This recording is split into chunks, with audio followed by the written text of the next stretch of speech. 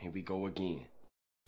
Welcome, welcome, welcome to the underqualified and overreacted. Big news today happened within the last 20 minutes or so. Black Widow has been delayed, but it's coming out to Disney Plus. I am super excited about that. I already have Disney Plus, where I didn't uh, jump on the Mulan train. Raya Last Dragon was amazing. Definitely looking forward to Black Widow, and as a father with uh, two young children, it is beneficial for me to not have to go to a theater. So I'm super excited about this.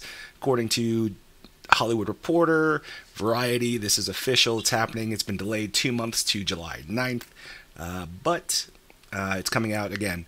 Disney Plus and theaters at the same time. So no matter, how you like it, you could have it.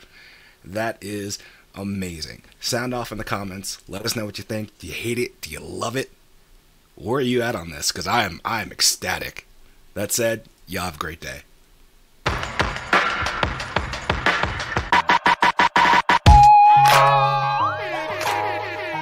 Oh shit.